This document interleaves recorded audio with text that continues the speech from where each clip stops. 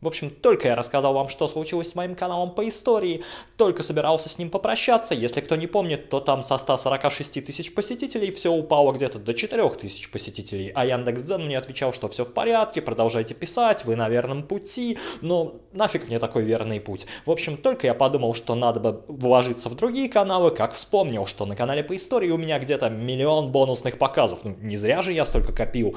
Если быть точным, бонусных показов у меня там 1 миллион 120 27 тысяч, ну то есть просто дофигища. И я их раньше не использовал. Почему? Потому что думал, что это такая профанация, ну то есть так просто красивенькая циферка. А почему я так думал? Ну, предположим, вот что я себе представлял. Есть у вас, скажем, там в сутки стабильный трафик, 50 тысяч человек вас посещают, и вы такие решили запустить бонусные показы. Запустили их, и как это не удивительно, у вас также в сутки остается 50 тысяч посетителей, но просто 30 пришли из органики, а 20 тысяч пришли из бонусных показов. То есть ничего не поменялось, просто у вас начали тратиться эти бонусные показы. Ну, так я себе это представлял. Но но так ли это на самом деле, я не знал. И вот сейчас, когда я использовал там, я не смог использовать все, весь миллион этих бонусных показов, сейчас объясню почему, сейчас все увидите. В общем, а это Кретов. Подписывайтесь на мой канал, ставьте нравится, и мы начинаем.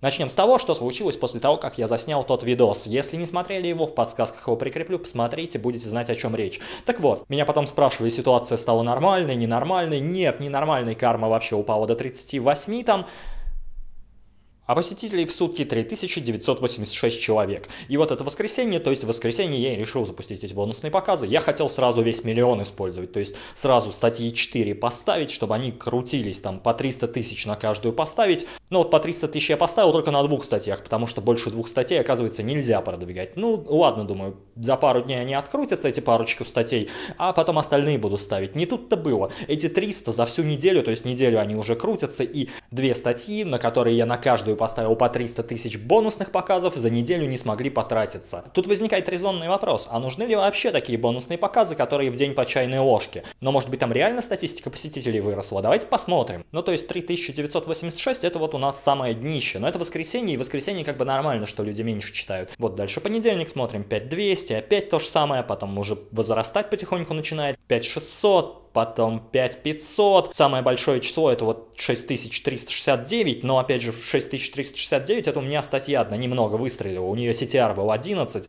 и поэтому чуть больше человек в этот день прочитали мои статьи, но дальше-то опять все падать начинает, то есть бонусные показы я не выключал, а все падает, ну то есть смотрим 5000, и сегодня вот 4858, уже практически ночь. Я думаю, сегодня до 5000 докрутится, но опять же снижение на лицо. Ну и что получается? Кажется, что миллион бонусных показов это так много, что можно там запустить эти бонусные показы, и тебе там нальют их фиг знает сколько. Не тут-то было. Как я и думал, это просто красивая циферка которая из того, что я сейчас видел, судя по всему, отнимает вот эти вот посещения просто у органики. Вместо органики вам дают бонусные показы, просто скручивают их. Еще, как раньше я говорил, у бонусных показов CTR значительно ниже. Я в этот раз для продвижения не брал статьи с самым высоким CTR, потому что если когда я брал раньше статьи с высоким CTR, то ничего хорошего не получалось. CTR раньше у статьи, скажем, был 13%, запускал бонусные показы по прошлому опыту, и получалось там он скатывался до 6, до 3. В этот раз я взял статьи, которые они как сами говорили, что если какая-то статья, вам кажется, что она недооцененная, что нам, мы показали ее не той аудитории, то просто запустите бонусные показы. Я, блин, так и сделал. Я выбрал статьи, которые были, по моему мнению, недооцененные,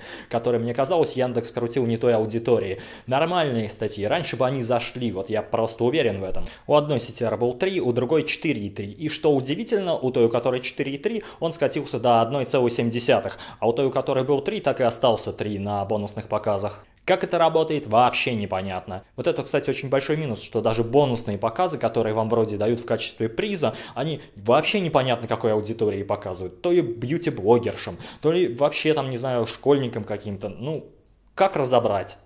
В общем, давайте подробнее эту статистику посмотрим. За целую неделю, за 7 дней, то есть на каждую из двух статей я поставил по 300 тысяч бонусных показов. Одна открутилась на 51,2% и вторая на 54%. В одной было 3967 тысяч дочитываний, это при CTR 3, и показов у нее было 161 тысяча, это все вот как раз промо-показы. И вторая, у нее было 1505 дочитываний, при CTR 1.6, это у которой вот CTR снизился с 4,3, и показов у нее было всего 153 тысячи. В общем, за целую неделю открутилось 300 тысяч бонусных показов, чуть больше, чем 300, ну, тем не менее, давайте примерно округлим. Так вот, не кажется ли вам, что это просто капля в море, то есть есть какой-то потолок, выше которого никак не прыгнуть, при том, что органика вообще тоже никак почти не крутилась, казалось, что бонусные показы должны выровнять ситуацию, но, видимо, вот этот вот мифический, который они говорят, что это мифический потолок показов для каждого канала, плюс они говорили, что количество подписчиков влияет, количество подписчиков на этом канале довольно большое,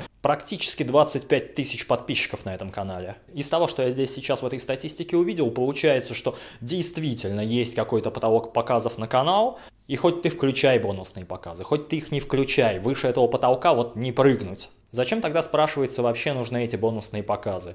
Да ни зачем. Профанация какая-то. Нет, я, может, ошибаюсь сейчас, может, я что-то не то говорю. Может, кто-то их использовал и очень эффективно, и ему это помогало. Если вы из таких людей, ну, напишите в комментариях об этом. Мне же они вообще никак не помогли, ну, как бы сами видели. То, что у меня там с 4000 выросло до 5 до 6, это вообще ничего не значит. Это в рамках естественной погрешности. То есть за счет органики вполне возможно у меня бы на неделе точно так же все выросло. Это, блин, никак не за счет бонусных показов, которых у меня, блин, миллион, но я их не могу просто нормально потратить. Так что Яндекс.Дзен, давайте все, бонусные показы мне на рубли меняйте, на переводите, я согласен списать, сколько у вас там бонусных показов в стоимости, я не знаю, конвертация, какая сейчас курс у вас. Как в том меме, в общем, забирай это не работает. Ну и как бы сейчас у меня возникает один большой вопрос. А стоит ли вообще вести дальше канал по истории? Сейчас у меня там больше 500 статей, сейчас у меня там 25 тысяч подписчиков практически, и канал упал просто на самое днище. Карма 38, вот завтра понедельник, как бы я буду выкладывать как раз это видео, заодно прикреплю в самом конце результаты по карме, покажу, что с ней случилось, выросла она или не выросла. То есть были же сбои до этого, и я пока еще грешу на вот эти вот сбои некоторые, потому что подписчики жаловались, я не успел в то видео это включить, но некоторые подписчики жаловались, писали в комментариях, что такая ситуация, что некоторые мои статьи вообще нельзя было дочитать. То есть нажимаешь загрузить, статья наполовину грузится, а вторую часть не видно, некоторые изображения не грузятся, нажимаешь перезагрузить статью, грузится уже другая часть, другие изображения вообще не грузятся. И вот, может быть, за счет этого многие не дочитывали, может быть, за счет этого были не очень высокие поведенческие реакции. Но Яндекс.Зен, конечно, в этом никогда не сознается, я им об этом писал, они говорят, нет, вот все зависит от сезонности, все зависит от интересов читателей, это нормальное проседание, ну, это не нормальное проседание, то есть я этот канал веду уже несколько лет, и за эти несколько лет первый раз вот такая вот странная ситуация, ну, как бы не странная, а такая вот абсурдная, не знаю какая. В общем, обещал я вам показать обновившуюся карму. Вот она была 38 у нас. А я занимал 10 197 место среди 69 824 мастеров. Как бы не очень результат. Это вот 9-15 ноября. Но началась новая неделя, и вот у нас карма 16-22 ноября. Давайте посмотрим ее. То есть, да, она выросла. 50 карма теперь стала. Я стал на 5148 месте среди 70 тысяч мастеров стало больше. Стоит, наверное, посмотреть, какие параметры вообще выросли. То есть у нас вот оригинальность стала 13, была у нас оригинальность 5. А вот это, я напоминаю, тот период, когда все глючило очень сильно. На Яндекс.Дзене не грузился редактор, пропадали отложенные записи, записи, которые опубликованные уходили в отложенные, тоже исчезали. Иногда кнопка «Сохранить запись» просто не работала. Некоторые писали, что статьи не грузятся. Может быть, с этим связана такая низкая карма, но вот здесь вот у нас оригинальность 5. И она у нас выросла до 13. Опять же, качество 9, а было качество 7. То есть на два пункта тоже выросло. Но в принципе вот этот столбик вовлеченность аудитории и развитие канала, он не сильно изменился. Тут вот ну, на 1 балл 12, 14, а здесь у нас 11, 13.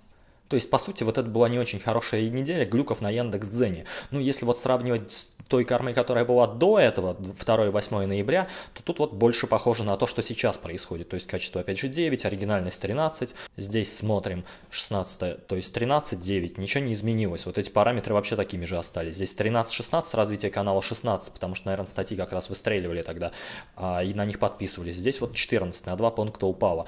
То есть, вот сравнивать 50 карма, и здесь у нас карма карма была 53. Единственное, здесь, конечно, мастеров меньше было. Здесь я занимал 4110 место, а здесь уже меня подвинули так слегка. 5148. Ну, поскольку на Яндекс.Дзен кто-то постоянно приходит и уходит, я в этом ничего страшного не вижу. В принципе, хорошо, что карма восстановилась. Я надеюсь, что и показы в скором времени тоже восстановятся и станут лучше на канале. Также и дочитывания вырастут. Посмотрим, что будет дальше. Опять же, непонятно на данный момент карма на что-то влияет или нет. Раньше она не очень сильно влияла на какие-то параметры, не очень сильно отражала то, что происходит. Долгое время они обещали это поправить, сделать карму более значимой для продвижения канала, сделать карму, чтобы она более четко отражала какие-то критерии канала, какие-то его позиции. Вот, было ли это реализовано? Может быть, когда вот эти глюки происходили, они что-то к движку опять же и прикручивали? Непонятно пока что. Тут надо смотреть, опытным путем проверять, причем проверять на нескольких каналах. То есть, если что-то происходит на одном канале, какая-то зависимость, то есть вы увидели, что у вас упала карма и после этого снизились показы, это не значит, что так и происходит, это значит, скорее всего, что просто совпало. А вот если на нескольких каналах регулярно такое происходит, значит, возможно, есть какие-то основания подозревать, что оно так и есть. Но опять же, проверять надо многократно. А с вами был Кретов, подписывайтесь на мой канал, ставьте нравится, если возникают какие-то вопросы, пишите в Инстаграм, потому что ВКонтакте я не особо отвечаю, я там добавляю только знакомых, ну и красивых девчонок. Хотя красивым девчонкам я вообще везде отвечаю. Вот. А, до новых встреч, пока!